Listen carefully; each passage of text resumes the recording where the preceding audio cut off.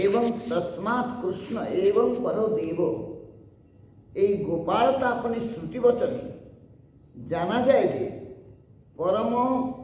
গোলক অধিষ্ঠাতা স্বয়ং ভগবান শ্রীকৃষ্ণই মূল তত্ত্ব এবং তিনি অনন্ত বৈকুণ্ঠ এবং